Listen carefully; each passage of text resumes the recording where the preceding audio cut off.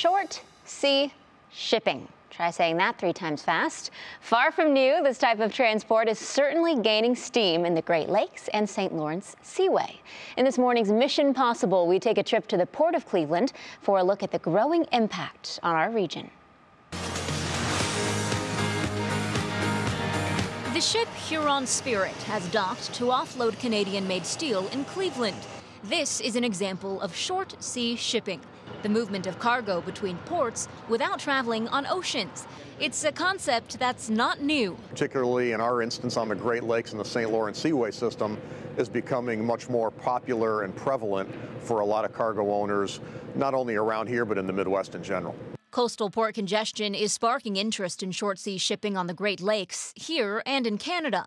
The Great Lakes Commission, an international agency that set policies for the lakes, encouraged the practice this summer. We're basically trying to develop a solution that already exists and increase knowledge in the supply chain industry that they have an option like this to use. David Gutheil says increasing shipping between Great Lake ports will speed up transportation time as goods are offloaded closer to their final destination. But unfortunately, it's taken a pandemic and some congestion that's going on in coastal ports because of global supply chain issues to make people realize that this is a viable solution.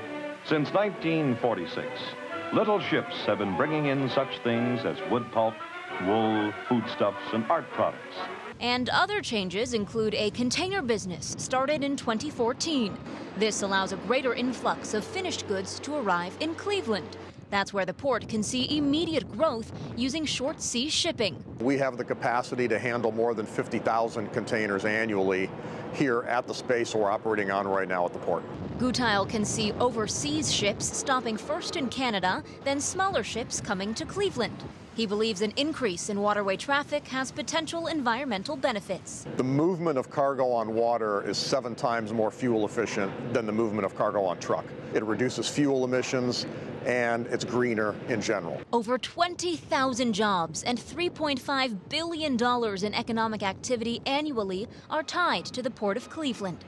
Short sea shipping could push those numbers higher. We want to help folks around here not only move their cargo more efficiently, but gain higher paying jobs through the movement of cargo. And if we can assist in that process, we're happy to do so. From now on, the whole world is at our doorstep. From now on, it is Cleveland, World Port.